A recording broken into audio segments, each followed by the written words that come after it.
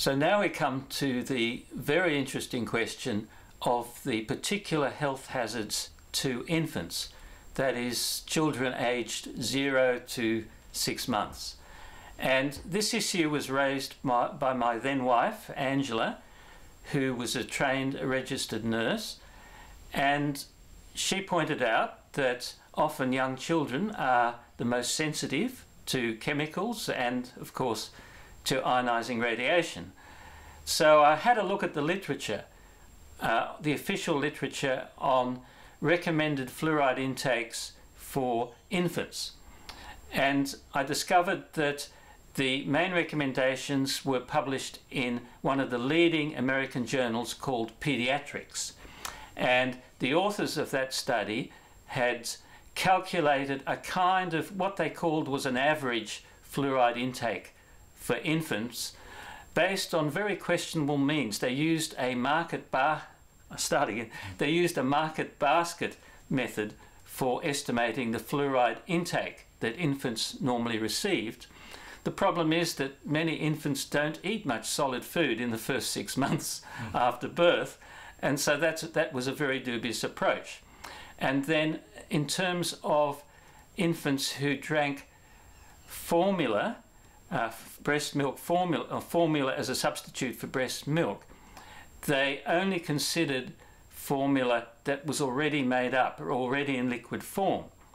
So it occurred to Angela and me that uh, they may not have adequately considered formula that is purchased in a powder form and then fluoridated water is added to it. So there was some investigation of the fluoride content of the powdered formula but they didn't seem to have taken into account the fluoride in the drinking water that was added to the formula. And my wife pointed out that we can calculate this very well because there are very strong dietary guidelines for water intake by infants. And the typical guideline is 150 millilitres of water per kilogram of body weight and that's standard in many countries. And we then went back and looked at the papers in pediatrics and found that where they did consider uh, infant formula, they, they had the wrong intake of water. Now that seems incredible because 150 milliliters per kilogram of body weight is a standard amount that is you know checked at baby health centers and so on uh, but they had not realized, uh, living in some sort of academic um, silo, they had not realized this was a requirement. And then, if you have fluoride at one part per million in drinking water, and a six months old child weighs eight kilogram, they would be taking in eight times 150 milligrams per day, which is over a gram of fluoride a day. Now, this is a very high dose for an infant. It is several times the, the dose level that was recommended at that time, back in the 1990s, for infants. And I should add in parenthesis that there's no evidence that taking in fluoride by infants has any benefit for teeth. For teeth.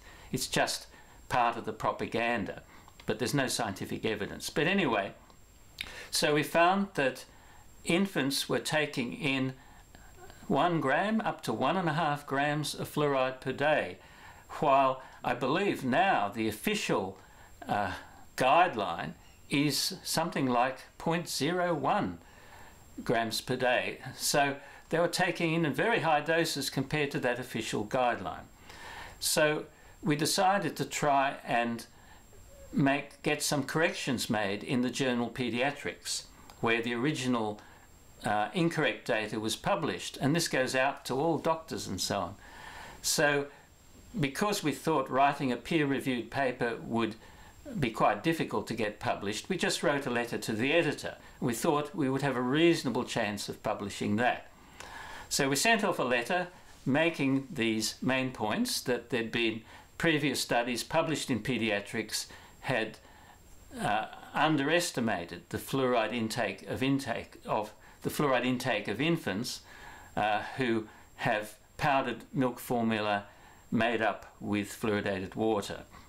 And the editor wrote back initially that they were very busy and they had a lot of editors and there wasn't enough space. And that rather irritated me. So I wrote back and pointed out that we were going to publicize this one way or another. And it, the failure of the journal to publish the correct figures could lead to legal action by parents of children who'd been overdosed with fluoride. Now, that really galvanized the editor into action, but unfortunately not into the action of publishing our, um, our little letter. Uh, instead, he sent the letter out to three referees, two of whom were associated with the early incorrect uh, material published in pediatrics and other journals, and the third was an anonymous referee. And of course, unsurprisingly, the referees wrote back uh, not encouraging publication of our letter. But the interesting thing was they couldn't contradict our main points. So they, they basically accepted them, but they tried to weasel out of it in various ways. So they said, oh, well, in the fine print of our papers, we do say that there could be higher intakes than the level we uh, calculated incorrectly. Um, but it was all in fine print, and our concern was that misleading information had been circulated to the medical profession, uh, to paediatricians, and so on. And um, but also the other interesting thing was that one of the responses by one of the authors who had written the incorrect material originally was that he actually admitted that publishing our letter could encourage the anti-fluoridation movement. Now, this is a totally improper response because our letter did not challenge fluoridation. It simply wanted to, to make the taking of infant formula safer for young children. And it should have been judged on its own merits.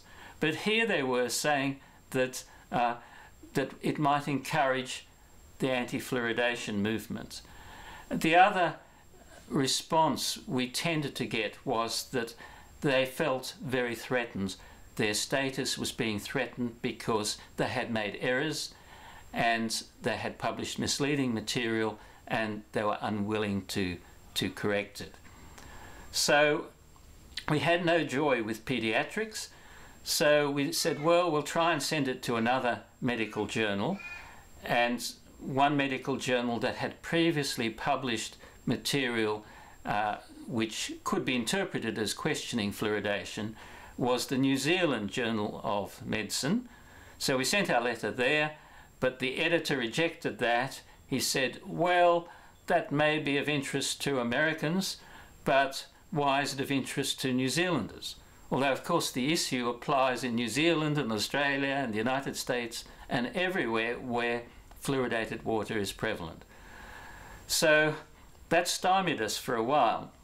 But in the end, uh, we wrote a full paper and sent it to a journal called Accountability in Research.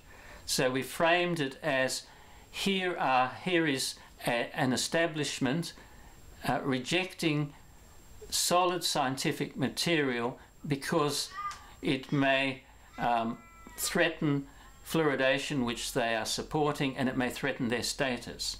And we, within our journal paper, we included the whole letter that we had sent to pediatrics and we also quoted extensively from the referees' reports which were so revealing. So eventually uh, our paper was published in Accountability in Research. At least it got out into the scholarly literature, but of course I doubt that any pediatrician or medical doctor would read Accountability in Research. And I guess we were also disappointed that although we circulated our uh, this material widely to the anti-fluoridation movement, very few of them seemed to see the significance at the time, back in the 1990s. And it's only been fairly recently uh, that it has become an issue in the United States and that our earlier work has been rediscovered, so to speak, and is now being addressed much more vigorously. But my impression is in the United States, where it has become an issue, and people are arguing against fluoridation of cities partly on the grounds of the risk to infants, that the fluoridation establishment has, which had actually issued some modest warnings about powdered inf infant formula uh, and about reconstituting it with fluoridated water, they have now backed off and withdrawn their warnings and hidden their warnings, presumably because they feel it might encourage the anti-fluoridation movement. And this is a very, very poor uh, approach to science and public policy.